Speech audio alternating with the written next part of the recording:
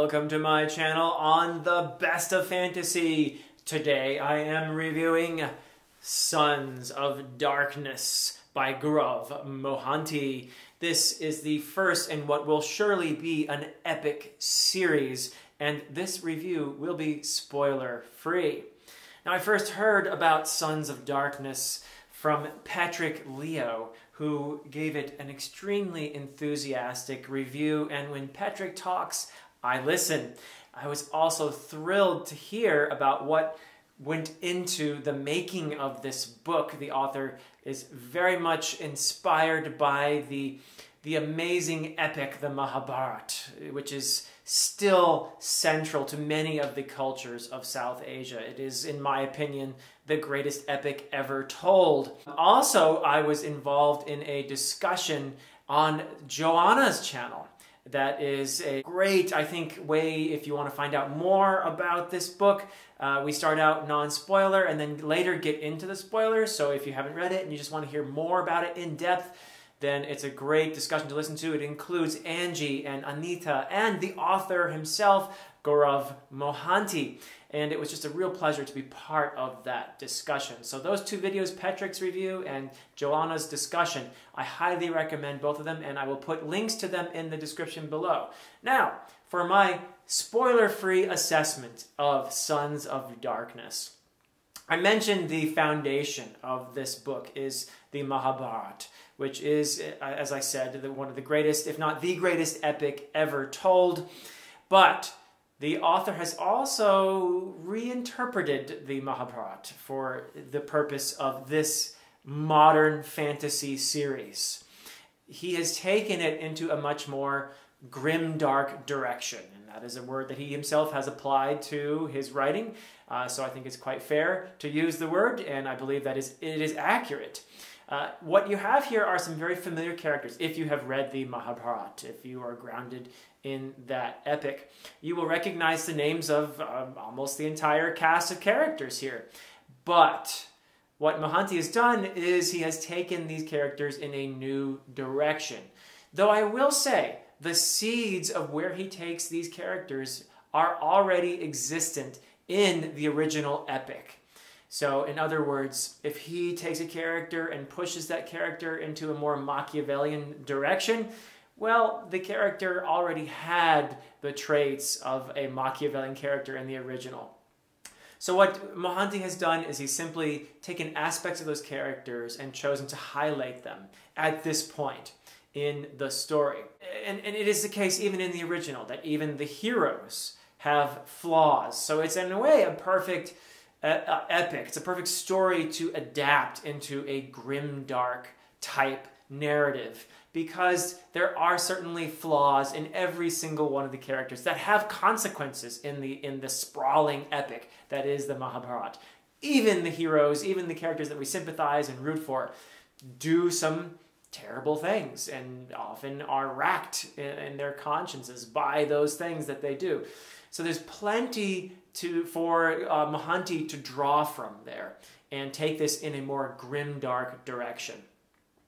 And specifically, if we're talking about grimdark and modern fantasy, sources of inspiration for his writing, uh, A Song of Ice and Fire is very evident. He mentions it specifically in his acknowledgments, and he has uh, been very honest and open about the ways in which A Song of Ice and Fire has inspired him. And so he has given a little bit of a spin to the, you know, this is a, uh, a setting with lots of different kingdoms that are rivals with each other. There's a lot of political infighting and that sort of thing. Uh, so it does have a bit of the flavor of A Song of Ice and Fire in that respect. So if you like your politics, it's got politics. It's got backstabbing. It's got all of the consequent violence uh, that results from those activities. Uh, so A Song of Ice and Fire is certainly big in there, and he's he's organized his kingdoms with mottos and that sort of thing. There's very reminiscent of uh, the Seven Kingdoms in, in, that very, I think, superficial way. Um, it's fair to say that the grounding, the foundation of this is really in the Mahabharata, but he has taken these little touches from these modern fantasies. Those things have helped him to give it his own spin.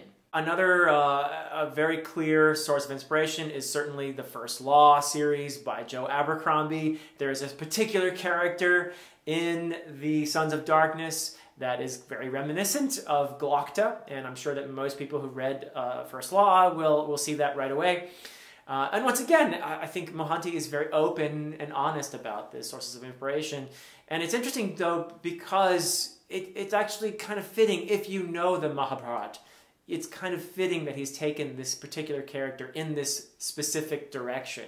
So uh, you could almost call it a, a kind of archetype in that sense.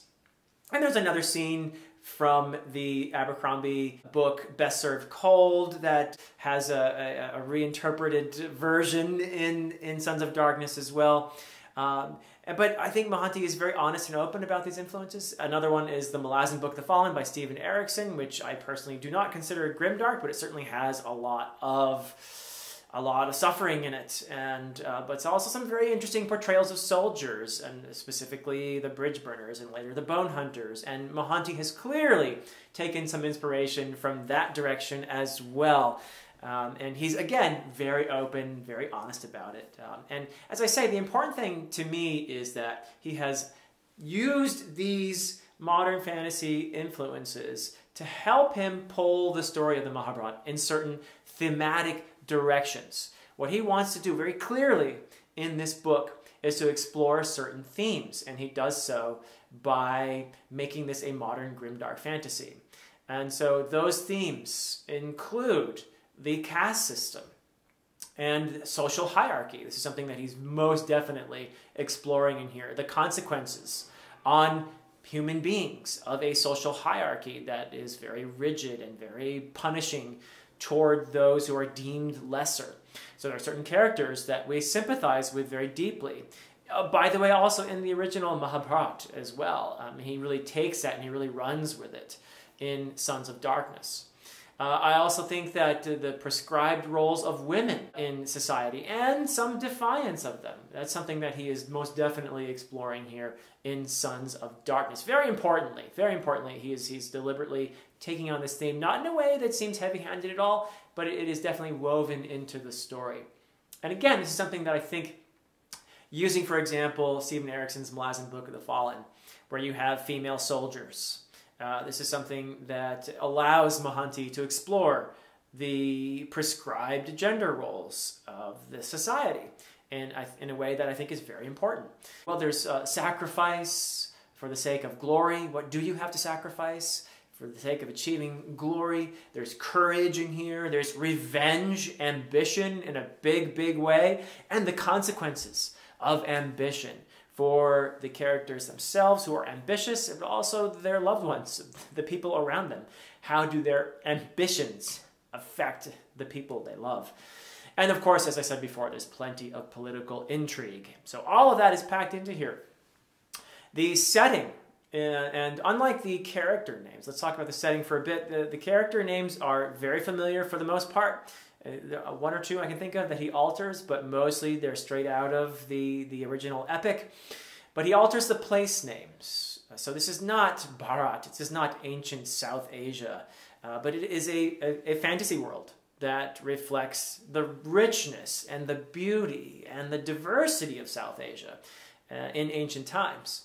Uh, with many rival kingdoms that are basically given ample space for politics and intrigue. This is a, a very rich setting, I would say.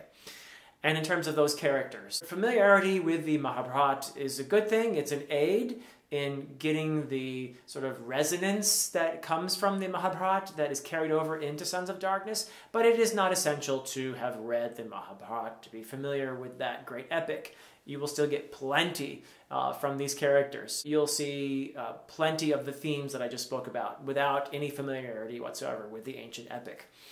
But like in the Mahabharata, the characters are very much flawed and for the most part larger than life, but they are also humanized in a way that I think is pretty effective uh, this setup here in this, uh, this opening book, Sons of Darkness, uh, which is the opening to a series, shows a lot of promise.